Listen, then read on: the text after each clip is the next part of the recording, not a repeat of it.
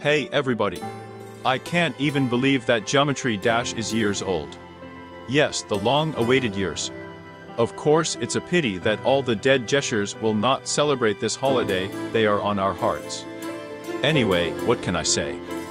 I sincerely congratulate RobTop on the, the anniversary of Geometry Dash.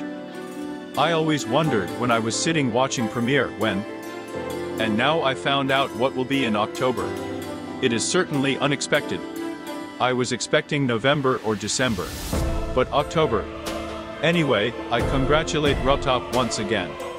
And I wish all the dead Jeshers soft clouds. And one more piece of information. I'm back. I'm going to post videos instead of shorts, because it all has to be edited, and the screen size has to be adjusted. So I'll be back and I'll be back and I'll be back and I'll be back. Bye everybody.